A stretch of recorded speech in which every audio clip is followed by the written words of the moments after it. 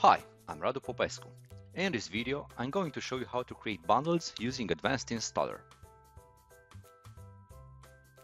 First, we need to create a new empty enterprise project without using the wizard.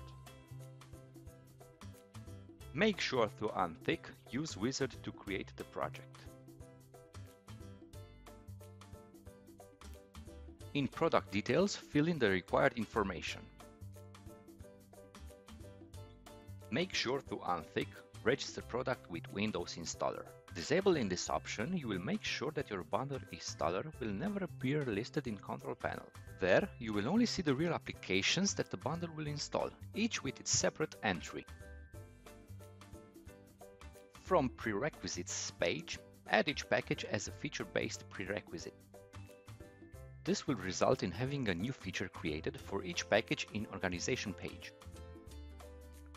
After you add the packages, you can select each one of them and continue configuring it from the right side pane.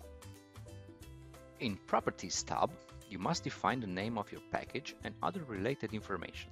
In Setup files, there is a very important area that needs to be customized. Install command lines. This command line get passed to your package when the bundle installer will execute them. The most important thing is to set the application to install silently. For MSI packages, the command line is slash qn. For exe packages, use the command line documented by the tool used to package the application. For advanced installer, use slash exenoui slash qn. In Install Conditions tab, you must select the option Always install prerequisites for all packages, be it MSI or exe.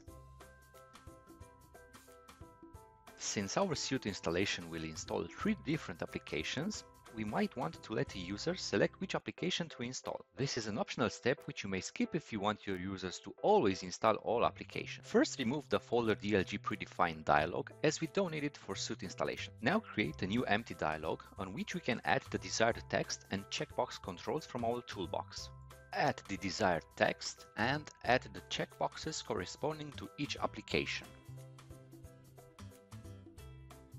Take note of the property.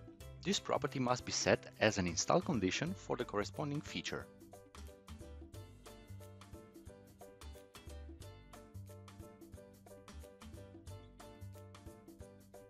Now navigate to Organization page, click on the feature, select Not Installed and on the Installed If text box, add the corresponding property. Do this for all three features.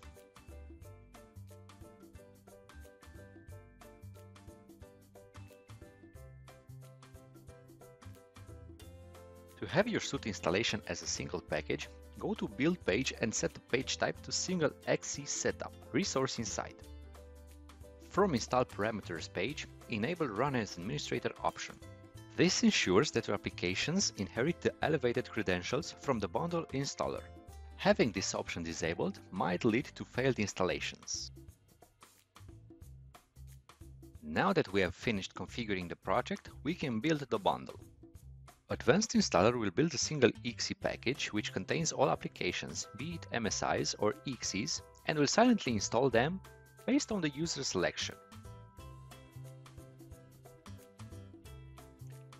Now you know how to create bundles using Advanced Installer. Add the desired text and add the checkboxes corresponding to each application.